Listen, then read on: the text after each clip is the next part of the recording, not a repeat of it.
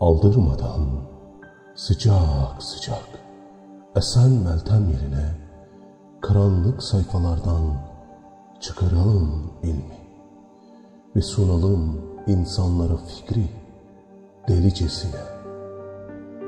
Ne fikir bilir hale geldi insanlar, ne ideal kaldı.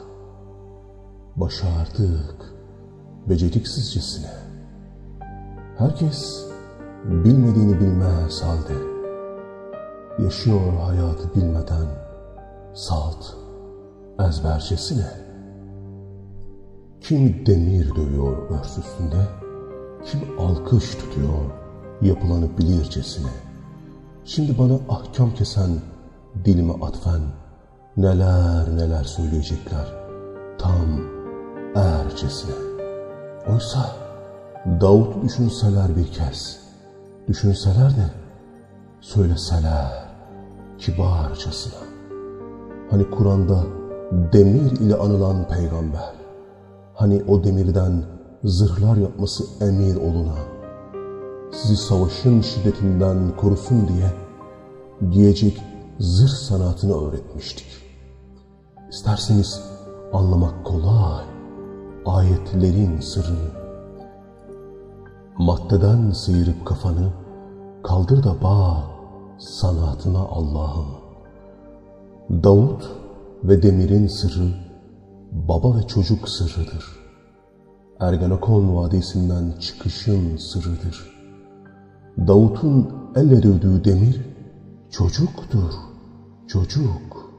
Ve her çocuk babasını koruyan bir zırh ve anasından aldığı varoluşun elbisesidir. Bunu anlamak için düşünmek gerek. Bunu anlamak için Türkçe lisan gerek. Bunu anlamak için mutlaka izan gerek. Eğer gene kon, sen de konmadın mı babandan gelen gene? Böylece çıkmadın mı terbiye edilerek meydana? Şimdi bakıyorum da nerelere bulaştırdılar. Adına bir yığın safsata yapıştırdılar. Ergenekon.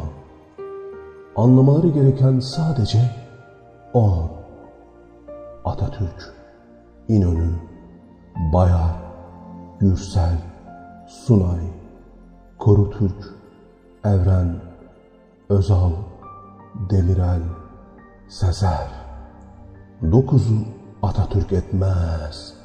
Etmeye gül de yetmez. Şimdi iyi düşünme zamanı anlamak için.